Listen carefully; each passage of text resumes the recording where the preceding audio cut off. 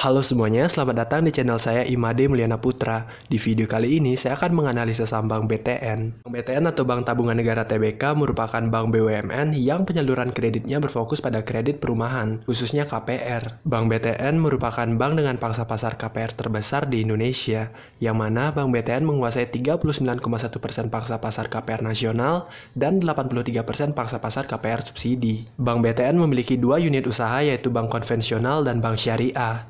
Adapun produk dari Bank BTN yaitu produk konsumer, produk komersial, dan produk syariah. Kredit yang disalurkan Bank BTN sampai dengan tahun 2022 mencapai 298 triliun. Penyaluran kredit ini bertumbuh 8,5% dari tahun 2021. Yang mana jika kita breakdown, penyaluran kredit Bank BTN terbagi atas dua jenis kredit dari tujuh segmen. Jenis kredit yang pertama yaitu kredit perumahan yang terbagi ke dalam segmen KPR bersubsidi, KPR non-subsidi, kredit perumahan lainnya, dan kredit konstruksi.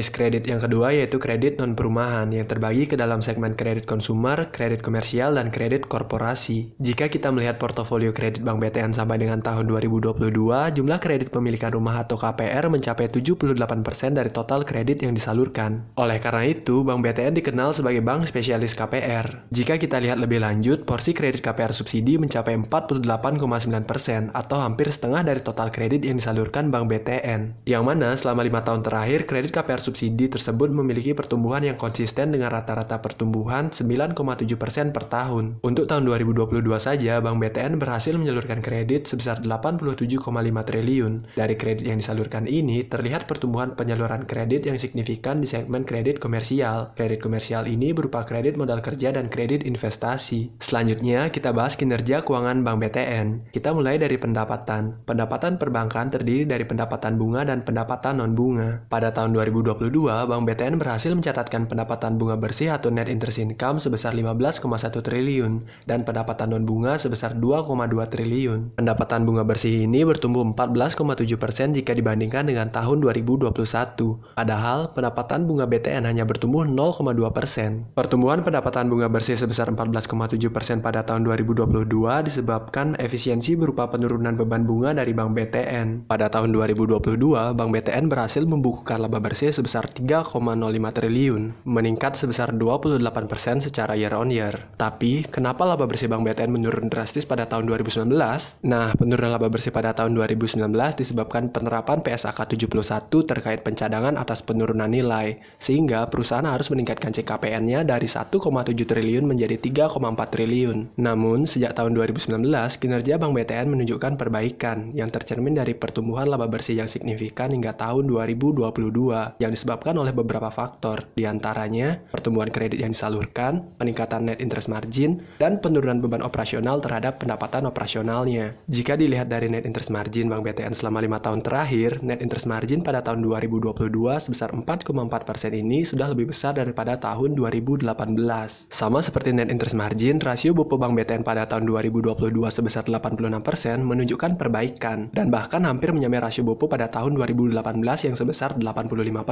Penurunan BOPO pada tahun 2022 terjadi karena efisiensi yang disebabkan oleh peningkatan dana pihak ketiga berupa giro, serta penurunan dana pihak ketiga yang bersumber dari deposito. Jika kita melihat porsi dana pihak ketiga Bank BTN pada tahun 2022, terlihat giro bertumbuh signifikan dan deposito Bank BTN mengalami penurunan, sehingga porsi dana pihak ketiga Bank BTN yang sebelumnya mayoritas disumbang dari deposito perlahan mulai menurun, sehingga Bank BTN dapat menekan biaya berupa beban bunganya. Kenapa porsi kasa dalam perbankan perbankan itu penting karena dana pihak ketiga yang berasal dari deposito biayanya lebih mahal daripada dana pihak ketiga yang berasal dari tabungan dan giro. Semakin murah dana yang digunakan dalam penyaluran kredit, maka semakin besar margin keuntungan yang bisa diperoleh perbankan. Berikut perbandingan biaya bunga dari dana pihak ketiga Bank BTN. Jika kita lihat, jika suku bunga tinggi seperti tahun 2019, selisih beban bunga giro dengan deposito hampir tiga kali lipat. Dalam perbankan, perbedaan margin 1% dapat memberikan dampak yang signifikan. Oleh karena itu, manajemen Bank BTN sedang berusaha untuk terus meningkatkan dana pihak ketiga yang bersumber dari giro dan tabungan. Jika kita melihat aset Bank BTN pada tahun 2022 mencapai 402 triliun, aset Bank BTN mengalami pertumbuhan dengan rata-rata pertumbuhan 7,8% per tahun. Akan tetapi, pertumbuhan aset yang tidak didukung dengan kualitas aset yang baik akan menekan kinerja perusahaan yang tercermin dari return on asset. Return on asset Bank BTN mengalami peningkatan sejak tahun 2019. Sama halnya dengan return on asset, return on equity Bank BTN juga juga mengalami peningkatan. Bahkan, return on equity Bank BTN sudah lebih tinggi jika dibandingkan dengan tahun 2018. Jika kita melihat kualitas aset Bank BTN yang tercermin dari NPL-nya, NPL gross Bank BTN sejak tahun 2019 juga mengalami perbaikan dari 4,78% menjadi 3,38% di tahun 2022. Jika kita breakdown NPL dari Bank BTN, terdapat hal yang menarik karena segmen KPR subsidi yang penyaluran kreditnya hampir setengah dari total kredit Bank BTN, NPL-nya hanya 0,9%, yang mana hal ini dapat dikatakan sangat kecil. Selain itu, kredit perumahan merupakan kredit yang memiliki risiko rendah, karena pada kreditnya terdapat jaminan yang nilainya di atas 100%. Jika kita lihat NPL per segmen, terdapat dua segmen kredit yang NPL-nya cukup tinggi, yaitu kredit komersial dan kredit konstruksi. Peningkatan signifikan NPL pada dua segmen ini diawali pada tahun 2019.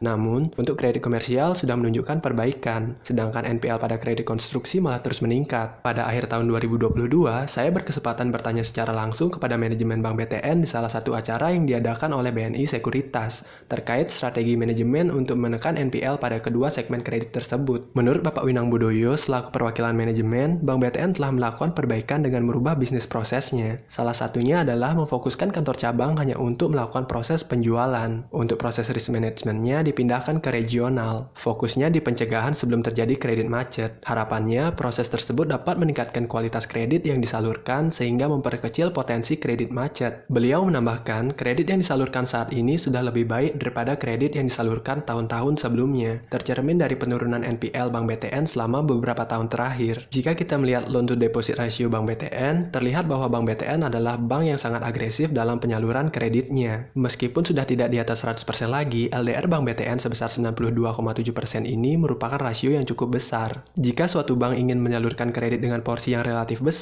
bank harus didukung dengan kecukupan permodalan yang kuat. Jika kita melihat rasio kecukupan modal Bank BTN pada tahun 2022 berada di 20%, yang mana persentase tersebut sudah berada di batas aman bagi perbankan. Lalu, bagaimana dengan valuasinya? Saat video ini dibuat, Bank BTN berada di harga 1340 dengan PBV sekitar 0,7 dan PI sekitar 6 kali. Melihat perbaikan kinerja perseroan dan manajemen yang berhasil mencapai target yang telah ditetapkan untuk tahun 2022, bukan tidak mungkin Bank BTN akan diapresiasi oleh market setidaknya sampai PI 8 kali di harga 1900. Kapan Bank BTN akan diapresiasi? Nggak ada yang tahu.